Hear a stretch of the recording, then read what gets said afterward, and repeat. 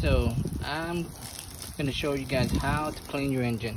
All right, so look how dirty this engine is. First off, you wanna disconnect your battery, which I already did. And then you wanna get like some bags, Walmart bags or whatever bags, United bags. Cover the intake if you have one. And then cover the battery, any electrical wires. And then you just spray away. Some people, they use the cleaners, but I don't. So, spray away.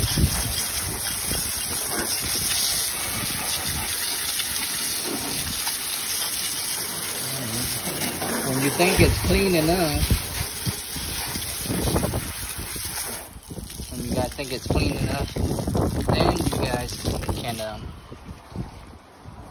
if you guys are lucky, you guys got a blower. Guys are finished um, blowing it dry. Here. To take the stuff out. Alright, so my air filter is dry. Let's see. And so is my battery. See, see that? Alright, so I would suggest waiting maybe about 30 minutes before you start driving. Keep the hood open, keep it dry. So it's pretty clean, clean, clean hood now, or clean uh, engine now. What do you guys think? Frank, take out. Peace.